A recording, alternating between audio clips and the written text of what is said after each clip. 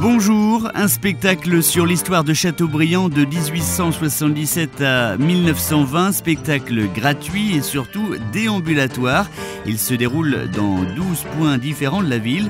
Ça s'appelle Promenade en histoire, cavalier, attelage, cochon, fanfare municipale et plus de 250 personnages au total mettent en valeur le patrimoine et l'histoire du pays de Châteaubriand.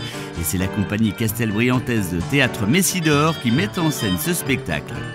La troupe est constituée de tous les volontaires qui ont envie de faire du théâtre. C'est-à-dire que c'est un appel qui est envoyé à toute la population.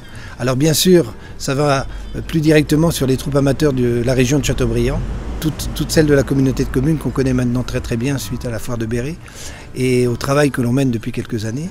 Mais aussi, euh, l'invitation avait été lancée au conservatoire, même s'ils n'ont pas répondu favorablement. Et puis, euh, tous les amateurs qui aiment le théâtre et qui ont envie, pour une première fois quelque, souvent, de, se risquer au, projet.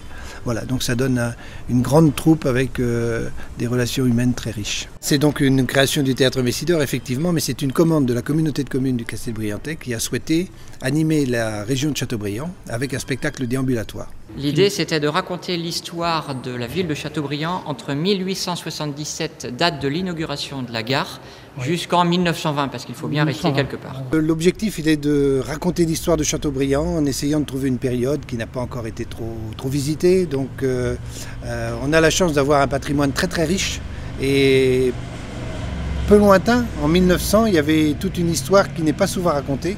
Et on a encore des éléments de, narration possibles, soit avec des, mémoires très présentes, soit avec des objets, des accessoires euh, euh, qui, peuvent nous servir à évoquer toute cette période-là. C'est Christine, Christine Marel, hein, qui s'est occupée de toute la partie costume. Elle a, elle a loué 280 euh, costumes, 282 costumes exactement pour habiller 109 comédiens, comédiennes, cavaliers, cavalières qui change, parce que le jeu de la promenade, c'est de faire évoluer euh, chaque euh, personnage en différents costumes. Donc euh, chaque comédien joue deux ou trois personnages différents dans l'histoire. Quand je dis qu'il y a eu 100, il y a 120 participants sur le spectacle qu'on voit, mais derrière il y a énormément de monde et on peut dire qu'il y a plus de 150 personnes qui participent à ce spectacle. Quatre représentations de ce spectacle sont programmées. Les prochaines ont lieu le 21 juillet, les 4 et 11 août à 20h. Réservation obligatoire auprès de l'Office de tourisme.